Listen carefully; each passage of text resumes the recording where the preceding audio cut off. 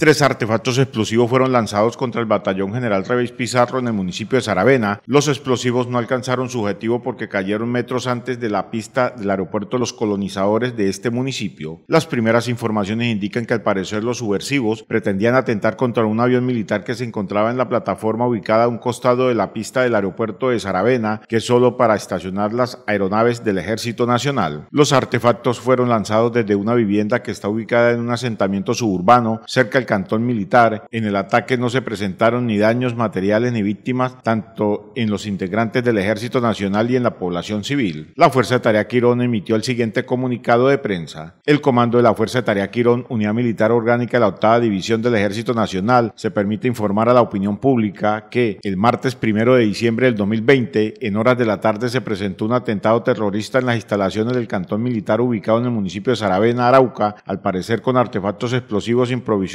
de tiro parabólico. Segundo, el arma no convencional habría sido utilizada para lanzar el artefacto desde una vivienda del sector Invasión El Tesoro y la urbanización Ciudadela del Castillo. Hasta el momento no se reportan víctimas ni afectaciones a la infraestructura. Tercero, a esta hora se adelantan labores de registro y verificación para establecer los responsables de este acto terrorista, el cual rechazamos de manera enfática, dado que se busca atentar contra la vida de los hombres y mujeres del Ejército Nacional en fragancia, violación de los derechos humanos infringiendo las disposiciones del derecho internacional humanitario.